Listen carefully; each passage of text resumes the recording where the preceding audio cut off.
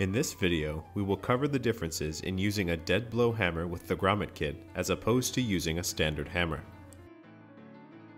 The hammer is used in conjunction with both the cutter and die setter included in the grommet kit.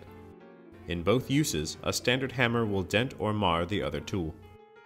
This causes uneven cutting and pressure when using the other tools, which hampers even grommet setting and decreases the overall life of your grommet kit.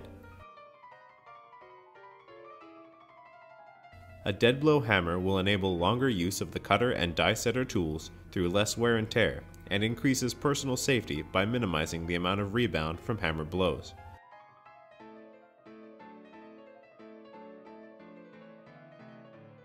For more information or to order online, visit GetTent.com.